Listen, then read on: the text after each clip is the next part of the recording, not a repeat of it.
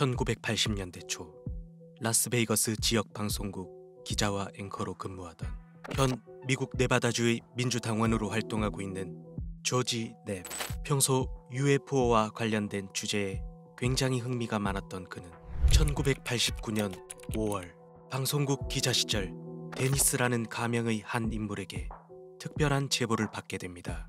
저는 당신이 궁금해하는 외부에는 절대 알려지지 않은 UFO와 관련된 정보를 가지고 있습니다. 이렇게 시작되어 세상에 알려지게 된 데니스. 그의 본명 로버트 스콧 밥 라자르. 그가 폭로하면서 시작된 51구역 음모론 미스터리입니다. 당시 기자였던 조지넵은 자신의 관심사였던 UFO의 이야기에 흥미를 보이며 인터뷰를 진행하게 됩니다. 네바다 그룸레이크 지역에 공군 군사 기지가 있습니다. 저는 이곳에서 외계 생명체가 타고 온 UFO 9대의 비행체에서 동력 장치와 관련된 reverse engineering을 하며 이 비행체를 연구했었습니다. 조지 냅이 진행하는 방송에 출연한 밥 라자르는 그곳에서 근무하며 있었던 일들을 이야기하는데 그의 주장은 굉장히 흥미롭고 또 자세한 내용이었습니다. 지금부터 밥 라자르 그의 주장입니다. 그는 인터뷰에서 밥 라자르 자신은 MIT에서 물리학과 전자공학을 전공했으며 캘리포니아 대학에서 물리학 박사학위까지 받은 물리학자라고 주장하면서 그는 51구역에 근무했던 신분증과 급여 명세서도 함께 공개하고 자신은 로스앨러머스 국립연구소를 통해 1988년 12월부터 51구역에 출근했고 그는 일반인이 출입할 수 없는 51구역의 정확한 위치와 내부 건물의 위치까지 정확하게 지도에 표기하고 그리고 이곳을 출입하기 위해서는 사람의 손뼈를 스캔하고 신원을 확인한 뒤 출입이 가능하다고 주장합니다. 밥 라자르는 기밀이라 사진 촬영이 불가능하였기에 보여줄 수는 없지만 자신이 연구했던 비행 장치와 동력 장치에 관련된 이미지를 간단하게 스케치하면서 설명하는데 이 비행체는 주변의 중력을 없애는 장치를 통해 비행이 가능했습니다. 또한 이곳에는 외계에서 온 비행체뿐만 아니라 외계인도 함께 있을 것이라 이야기하며 하지만 밥 라자르 본인은 동력 장치에 관련된 일만 했을 뿐 외계인을 본 적은 없고 그들을 아이들이라고 표현하는 사람들에게 그 이야기를 듣거나 오직 보고서로만 그들의 존재를 알 수 있었다고 주장합니다. 밥 라자르의 주 임무였던 동력 장치에 관련된 이야기로 이 비행체에 사용된 중력을 없애는 장치에서 115번 원소를 이용한 소재로 만들었다고 설명하는데 당시 이 115번 원소는 우리에게 존재하지 않는 물질이며 기술이라고 주장합니다. 놀라운 점은 이 115번 원소에 관련되어 실제로 확인된 것은 인터뷰 당시 1989년이 아닌 2004년 2월 1일 미국 캘리포니아의 로렌스 리버모어 국립연구소와 러시아 도브나 팀과의 합동 연구에서 불안정한 상태의 115번 원소를 발견하며 2015년 12월 국제 순수 응용 화학 연합에서 공식적으로 인정하고 그 이름은 모스코뷴으로 2016년 11월 30일에 확정이 되었습니다. 이것을 밥 라자르는 1989년 어떻게 알 수 있었을까요?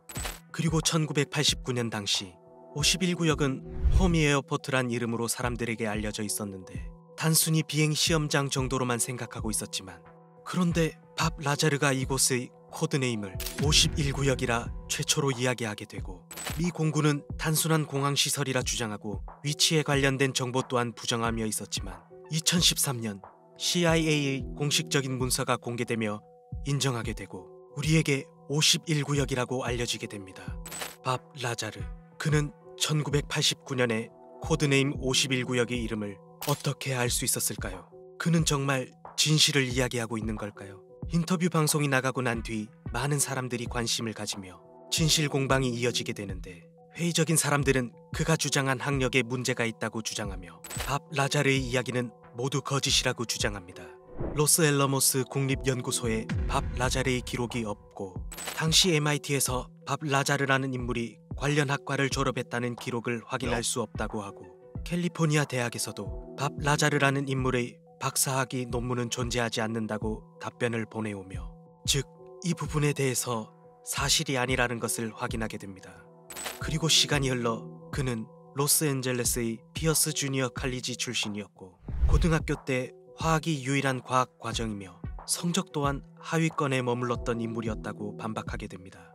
이에 밥 라자르는 인터뷰 방송이 방영된 이후 정부가 자신의 정보와 논문을 모두 지웠다고 주장합니다. 또 밥 라자르는 그가 작성한 박사학위 논문을 전혀 설명하지 못하는데 그의 주장으로는 자신이 졸업함과 동시에 이유를 알 수 없지만 1년 정도의 기억이 없다고 주장합니다. 그리고 사람들에게 점점 불신이 쌓여가며 시간이 조금 흐른 후 밥 라자르는 우리에게 51구역의 음모론을 최초로 던지고 그는 돌연 자취를 감추게 됩니다. 그렇게 사라진 밥 라자르가 사망했다는 등의 온갖 루머가 생기며 또 시간이 흘러 잊힐 때쯤 2018년 12월 8일 제레미 캐니언 로키어 코벨이란 감독이 제작한 밥 라자르 51구역과 UFO라는 다큐멘터리로 우리 앞에 다시 나타납니다. 그는 이 다큐멘터리에서 자신이 폭로한 이후 정부에게 온갖 협박을 받으며 살아왔다고 하는데 자신은 작은 회사를 운영하고 있지만 이곳에서도 FBI가 급습하는 등 계속해서 자신을 감시하고 있다고 주장하고 있습니다.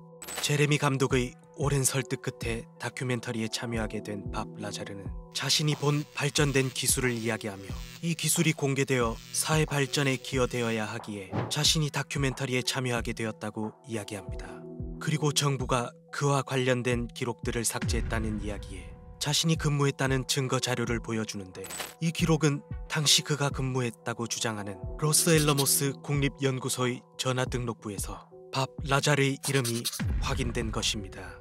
근무했다는 확실한 기록은 아니지만 그의 이름이 남아있는 회사 전화 등록부 그리고 1989년 인터뷰에서 손뼈를 스캔해서 출입이 가능했다는 이야기에 당시에는 의문이 많았지만 이 사실이 2016년 기밀 해제와 동시에 관련된 생체 시스템을 오래전부터 기밀 시설에서 사용해왔다는 사실이 알려지게 됩니다. 결정적으로 이 부분들을 보고 제레미 감독 또한 밥 라자르의 말을 믿고 다큐멘터리를 제작하게 됩니다. 그리고 또 2016년 공개된 이 UFO 영상이 밥 라자르가 연구해 오던 비행체 중 하나라고 주장합니다. 그가 말하는 주장들은 정말 사실일까요? 아직 사람들은 그가 진실을 이야기하고 있는 게 맞는지 여러 의견이 분분한 가운데 51구역에 대한 많은 의문을 품고 있습니다. 과연 로버트 스콧 밥 라자르 그는 우리가 모르는 UFO와 관련된 기밀과 51구역을 폭로한 이후로 희생된 사람일까요?